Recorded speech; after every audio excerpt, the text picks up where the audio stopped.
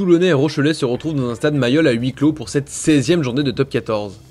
Et pour la 200e rencontre de Kevin Gourdon sous le maillot des Maritimes et sous le regard de quelques supporters présents sur les balcons qui surplombent Mayol, ce sont les Toulonnais qui entrent le mieux dans le match.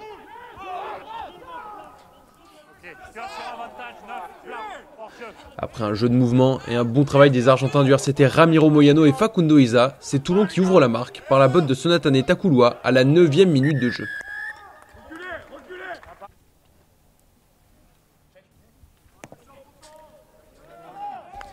Il ne faut pourtant pas 3 minutes au Rochelet pour réagir. Et après une sortie de camp mal assurée sur le renvoi par le RCT, c'est la mêlée rochelaise qui offre l'occasion à Iaya West de ramener les deux équipes à égalité à la 12e minute de jeu. Plus en réussite que la semaine passée sur la pelouse du Racing 92, le buteur néo-zélandais ne se fait pas prier et permet à La Rochelle de recoller à 3 partout. En suivant, les Rochelais remettent la main sur le ballon. Et face à des Varois en difficulté dans leur sortie de camp, les joueurs de Ronan O'Gara s'installent petit à petit dans la moitié de terrain toulonnaise. Mais face à une défense varoise courageuse et bien en place, les Rochelais ne parviennent à débloquer leur compteur d'essai et s'en remettent alors à la botte de leur buteur pour creuser l'écart au score.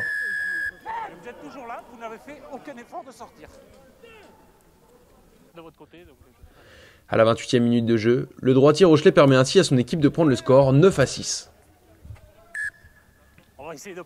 La fin d'une première mi-temps aussi brune qu'équilibrée se termine finalement sur un ultime en avant toulonnais entre Gervais Cordin et Ramiro Moyano.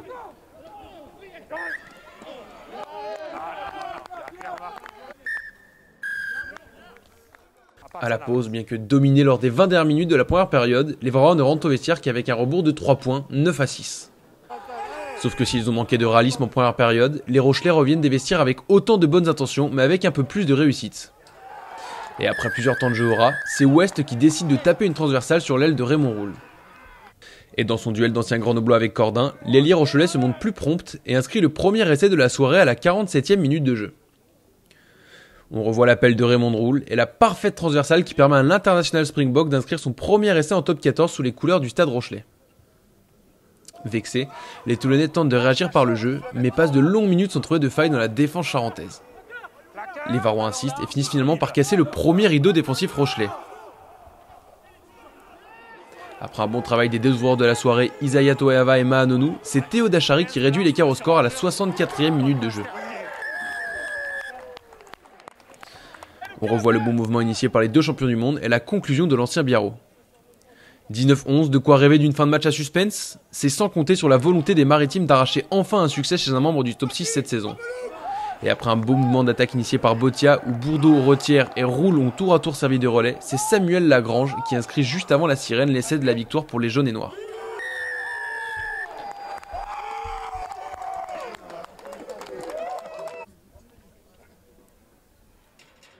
On peut à nouveau apprécier le bon travail de Levani Botia ainsi que les relais de ses coéquipiers qui permettent à La Rochelle de conforter le score face à leur ancien manager Patrice Colazo.